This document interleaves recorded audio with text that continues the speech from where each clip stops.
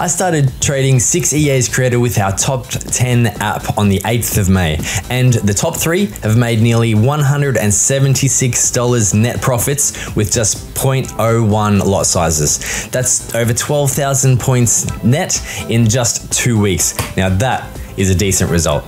Let's go check it out. So these are the live results with the profit and loss on the $5,000 account from the 8th of May with just 0.01 lots. As you can see, it's the $5,000 account with $113 roughly or $112.55 in profit. And that's a profit gain of 2.25%. That's also in the last 30 days. Now I did a bit of extrapolation and I'm wondering what would that ratio be like on a $1,000 account or a $200 account? And it turns out to be in two weeks, that same amount would have made 11.26%, or on the $200 account, 56.28%. With a good floating drawdown ratio, these EAs could be a good candidate to trial on a small $200 live account.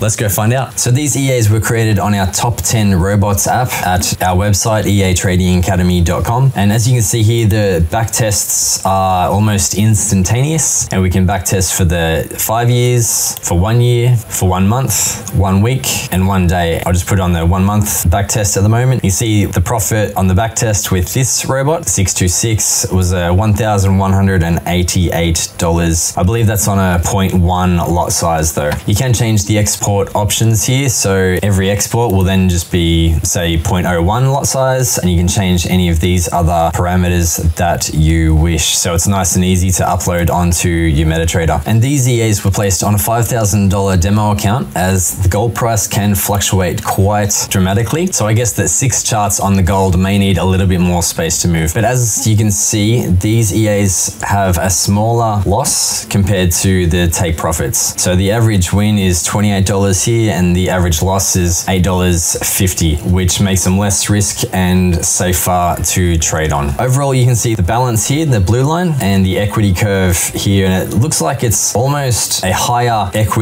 curve than the balance straight out of the gate with each trade. So that looks like, like a very consistent and trustworthy lot of EAs. So with all of the EAs, we can see that the profit factor is a nice 1.78 and the estimated monthly return would be 4.8% on a $5,000 account. As you can see, the history is just 14 days and it's currently made 1.1% return so far. But not all of the EAs were performing well. So I've made a little filter here on this tab. You can see that we're excluding these magic numbers with the exclamation mark right at the front here. And now our profit factor is a little bit different. It's 4.37 with the top three. The estimated monthly return is 7.5% and the current weekly return is 1.7%. With all the EAs working at the moment, the trade's duration has been somewhere like this. So somewhere around the 24 hour mark on average with a couple reaching the 60 hour mark. But at the moment you can see there are no open orders. This is the equity or the balance chart with all of the EAs working. So top of like uh, 130 roughly here and then back down to 115. Whereas with the filter on, hey, we're all, all the way up here to around about 175 with just those three. Okay, now I'll show you where the rubber hits the road. This is the magic numbers for all six. As you can see, 0, 1, 2, 3, 4, 5. And I'll range it by net profit with negative